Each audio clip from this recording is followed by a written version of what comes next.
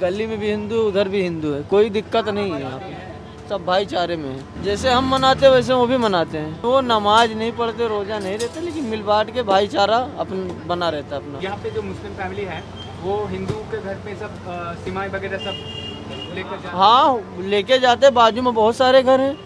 आपस में जैसे पड़ोसी है ना तो एक दूसरे को खिलाते पिलाते देते हैं साथे उठते बैठते हैं। हिंदू भी शाम त्योहार में शामिल होता है? तो हिंदू तो होएगा क्यों नहीं? हम भी हो जाते हैं इनके त्योहार में शामिल। क्या क्या कुछ भी हो माया आना जाना होता हमारा इनके साथ को अच्छे संबंध है लिंक है ऐसी बड़ी बात है। बहुत पुराने लिंक है आज के घोड़े है।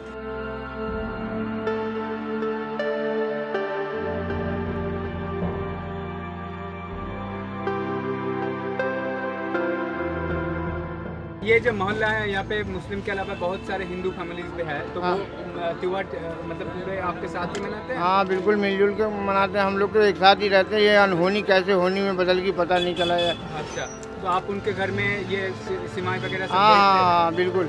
अच्छा।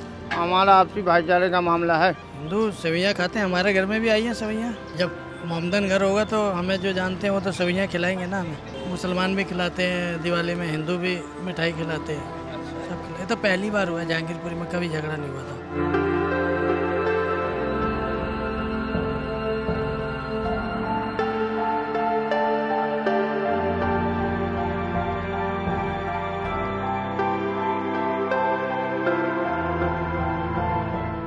हमारे जहांगीरपुरी में हिंदू, मुस्लिम, सिख, ईसाई बड़े मोहब्बत में रहते, एकता में रहते, लेकिन ऐसा आज तक हुआ नहीं। लेकिन हम लोग बहुत अफसोस कर रहे हैं, क्या हो क्या गया ये? गली मोहल्ले में कितनी मोहब्बत है और मैं बल्कि मैं जब भूखा रहता हूँ तो मैं अपने पड़ोसी हिंदुओं से बोलता हूँ कि आंटी जी आपने क्या बनाया? दो रोटी दे दो।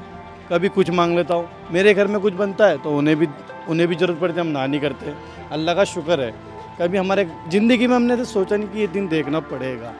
लेकिन हम बहुत ज़्यादा अफसोस कर रहे हैं डर बैठ गया दिल में क्या हो रहा है अरे लॉस तो हो गया बहुत कर्जे में हो गया। मेरा भाई डेढ़ लाख रुपए का तो कर्जा ही है। कोविड की वजह से। कोविड के वजह से भी और जो है ये जो हो गया कांड इसके वजह से भी। For more such fine stories and video reports from field subscribe to our channel the new Indian